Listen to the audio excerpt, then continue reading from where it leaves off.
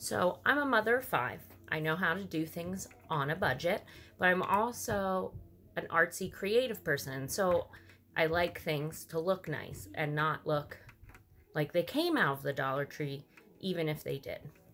So I'm going to share just a few of the ideas I've come up with. I know this is a very popular idea in the Mary Kay world. A lot of people will use paper or silicone cup holders, but I found this ceramic one at the Dollar Tree. And where I am, they had red and white. So I got some of both. I like the idea that you can actually use this again to put rings or earrings or, you know, change anything in. Um, because I love fancy presents, but I don't like the waste that they create. So I took it upon myself to try and figure out ways that I could make the gifts look cute and be ready to be delivered without wrapping them in paper and um, wasting different gifting products. I did make my own little tag. It says, wishing you a holiday filled with sweetness. I chose to use the old lip glosses, the old style, um, to put down in there because I had quite a few of them left over. And I'm hoping this will be a way that I can um, move past that and invest in the new style of lip gloss. So on my white ones, I used the Mary Kay socks that came with my order when I ordered um, the Mint Bliss Energizing Lotion. And then I went online and I found a wholesaler that sells um, scarves made in Pakistan. And I did this because these cost me like 95 cents. And they're 10 times nicer than the ones you can get at the Dollar Tree. So um, that's why I chose to go that route. You don't have to order a huge amount. It's just the more you order, the more money you save. But you don't, I think I ordered 20. It does not have to be perfect. In fact, I like it better when it's not.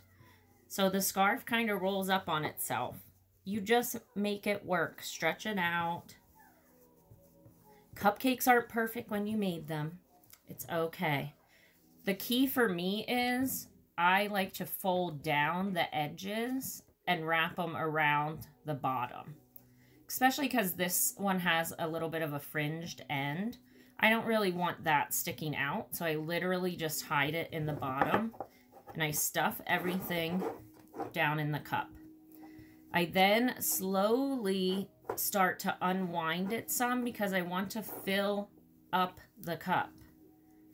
And then I will just pull the very inside up just a little. Listen, it's a scarf. It's not fragile. Mess around with it until you get it the way you like it. This one's a little taller than I would normally like, so I'm just going to mess around with it some more. Looks like a cupcake. At least I think it does. Um, a lot of people are using the lip glosses out of the dual pack to make the cherry on top. Do it however you want. Buy pre-made tags. You can do it however you want, but it's the cutest little gift.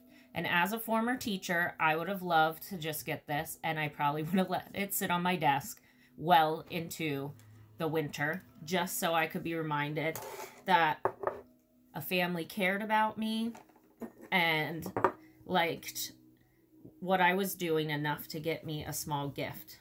Gifts were always appreciated as a teacher. Socks, the same way. Now, one tip I would say, start them off so that they're not completely lined up. It's going to just help you in the end. I put the heel part down because I feel like it um, works better that way. Stick it in, stretch it out a little, and pull that center up. You want to get that twirly top effect. Same thing. Stick a lip gloss in there. Stick a lip balm. Heck, Stick a Burt's Bees in there if you're not a Mary Kay consultant. This is a great little gift. It looks like you put time and effort into it. But I only spent, well, for this one, I spent what, like maybe 10 cents on the ribbon and the tag, $1 on the cup, and then I got these socks for free. So I'm only $2 in, not even, um, to that gift.